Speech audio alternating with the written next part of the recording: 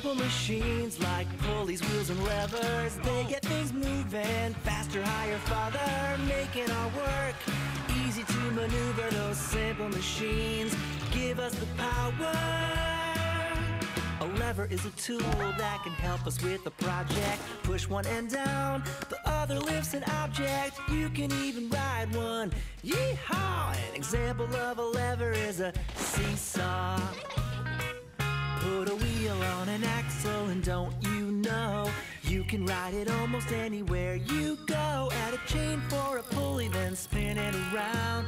Ride your bicycle around the playground. Simple machines like pulleys, wheels and levers. They get things moving faster, higher, farther. Making our work.